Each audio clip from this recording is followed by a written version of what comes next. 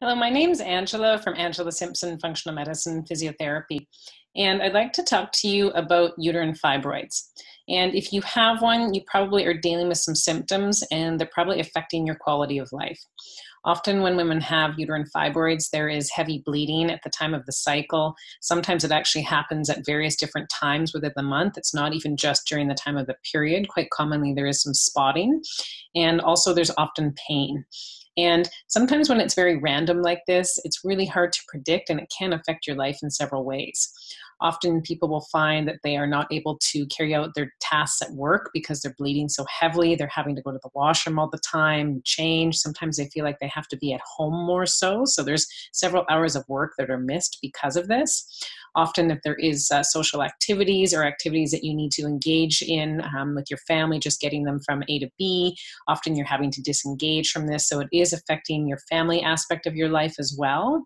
And often the pain, it is managed, um, especially depending on how high the pain is. Often women will have quite a lot of pain when they do have a uterine fibroid, and they are finding they have to medicate either prescription or non prescription. And when you are having to use this type of thing on a monthly basis, it can actually start to affect other systems in your body health wise as well, including your liver health and your gut health. And so it is really important to come up with a solution for these uterine fibroids. And it's important to figure out the cause of where they're coming from.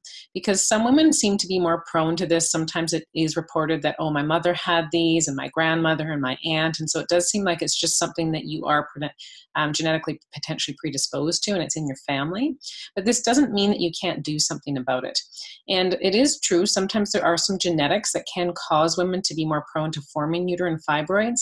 And this actually can. Um, um, be also related to a condition called estrogen dominance. And so, as women enter into their perimenopausal years, which um, sometimes is defined as 35 and beyond until you go through menopause, there are sometimes some fluctuations and changes in hormone levels that can make women more estrogen dominant, meaning there's more estrogen relative to the other sex hormones in the system. And if you do have genetics around estrogen dominance as well, meaning your body just doesn't flush and get rid of estrogen as easily and efficiently as it could, you might actually be more prone to having things um, come up, such as uterine fibroids or other female health related conditions. And it is important to figure out the cause of why this is happening because if you don't, and you fast forward five to 10 years from now, you potentially could be at risk for some other diseases developing, such as female cancers, uh, uterine, breast, ovarian, and at this point you are going to have a bigger situation on your hands. And so this is all preventable if you can figure out how to get to the root cause of why you have the estrogen dominance which is also quite commonly the cause for the fibroids. So there are some genetics um, sometimes that are commonly um, predisposing you to this and often there are also some lifestyle factors and so, quite commonly, if there is too much estrogen coming in, either for females, especially, it can be products such as hair products, uh, skin products, makeup products. Uh, often there's a lot of xenoestrogens in these products, and we're unaware of it. And so, we do have um, excess estrogen coming into our bodies on a daily basis, and it can start to build up over time. As well, sometimes it can come in from certain foods. So, often conventional dairy foods, conventional meats, they often will have higher levels of estrogen in them. And again, if they're eaten on a frequent basis, you can start to actually have a buildup happen over time. And the other thing to take note of is when we are actually um, getting rid of estrogen, which is part of a normal process that uh, all um, humans do, male or female, we break down estrogens and we utilize them for certain processes in our body. And what we don't need, we get rid of or we excrete or eliminate.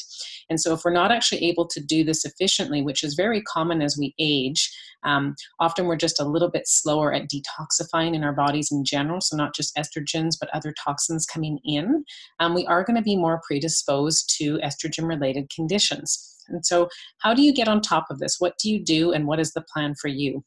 Well, it's really important to be identifying what factors are causing your estrogen dominance and looking at an individualized plan for you that's actually going to help you reverse this condition.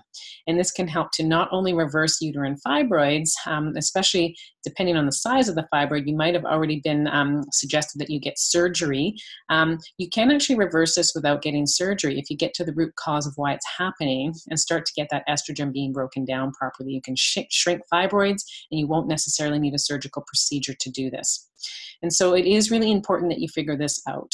And again, if you want to be preventative down the road, you don't want to end up with some sort of chronic disease, potentially even cancer, you really want to learn how to get on top of this estrogen dominance now.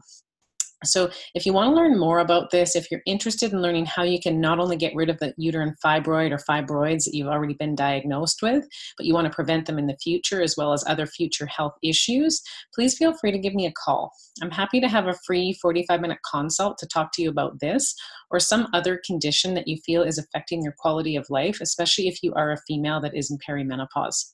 I can be reached at my website, www.angelasimpsonfunctionalmedicine.ca, and I look forward to speaking with you.